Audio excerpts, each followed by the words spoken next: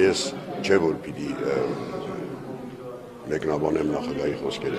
Ամեն դեպս նա Նախագահի խոսքերի մեկնաբանման խնդիրը չէ։ Ինչու ենք հայտնվել այնպիսի մի իրավիճակում, որ մենք զիջում ենք Ադրբեջանին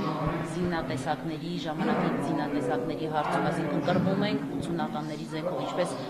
մեջբերում եմ նախագահի խոսքերը։ Ես կարծում եմ դա դիվանագիտական ուրեմն ձևակերպում է իսկ ինչու այդպես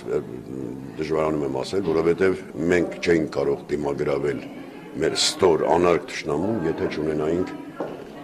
համարժեք զենքեր որտեղ դրանք օգտագործել են ģեր ժամանակակից զենքեր, տարբեր տրամաչափի եւ տարբեր տեսակի, իսկ նրան դիմագրավելու համար պետք էր համարժեք զենքեր օգտագործել։ Բաց թողում դուք չեք տեսնում այստեղ։ Չեմ կարողանում ասել, դժվարանում եմ ասել, որտեղ իսկապես ես ծանոթ չեմ այդ խոսքերին, այդ արտահայտությունը։ կարող կարդալ։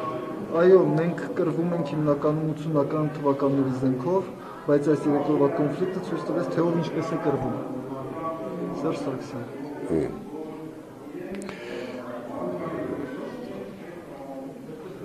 կրվում եք 80-ական։ Ես հասկացա,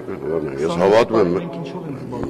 Էժան։ Չէ, ես կարծում եմ դուք հետևում եք ազգային ժողովի ուրեմն նիստերին, մենք ձեռք բերեցինք նաև ճիշտ է Ռուսաստանի տված վարկով, մենք ձեռք բերեցինք նաև գեր ժամանակակից զենքեր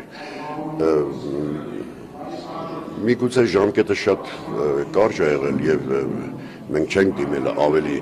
որովհետեւ բոլոր դեպքերում կա այդ բարոյահոգեբանական ուրեմն ֆակտորը աշխատում է մենք երբեմն նաեւ առանց զենքել ենք հաղթում Կարագին Նժդեն ասում էր մենք երբեմն հաղթում ենք երկելով Պաշտոնյաները նաեւ բիզնեսներ ունեն որոնք որ կարծում եմ ասես ասած տեսանելի գործնեություն է որ նրանք փող են աշխատել, ես դրանից ջուատ չեմ զգում, բայց որ մի առիթով ասել եմ, եթե այդ աշխատած փողերը իհարկե իրենց կենցաղային ուրեմ հարցերը լուծելուց զատ ճունեն պետության, պետականության հզորացման, նրա բարգավաճման, ուրեմն այսպես ասած միտումներ չեմ կարծում այդ փողը տեղին է, որ իրանք աշխատում են։